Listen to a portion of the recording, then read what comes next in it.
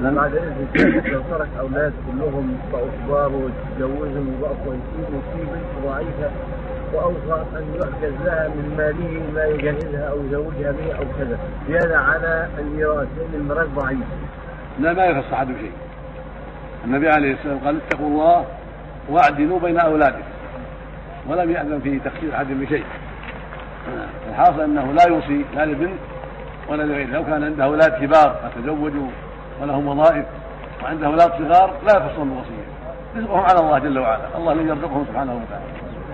الميراث بين الجميع بين القوي الغني الذي يملك الملايين وبين القاصر الضعيف على حد سواء كما قسم الله بينهم.